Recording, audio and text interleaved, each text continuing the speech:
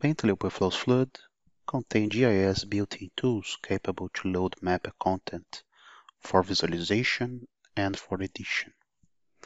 Accessing the Map top menu, you can see first the tools to add background layers for local files and also for web data.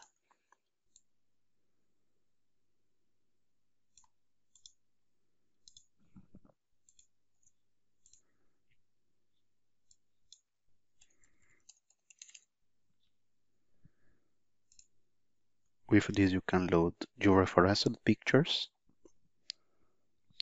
and load Bing Maps layers.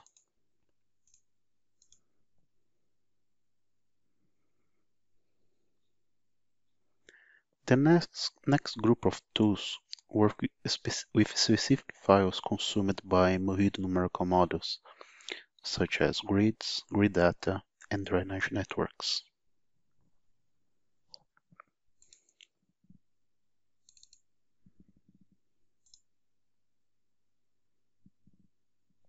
There are also tools to load HDF files, hierarchical data format, that stores data-based hydraulic results in a grid format. These files are generated after computing simulations.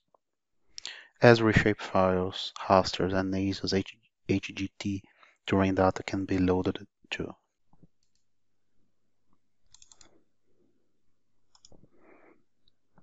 All loaded data are displayed in layers that can be arranged, moved then up and down,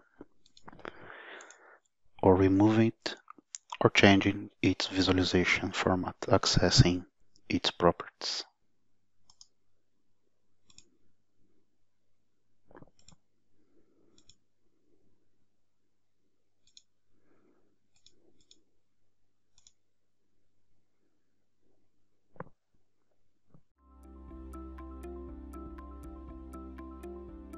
If you found this video helpful, please give it a like.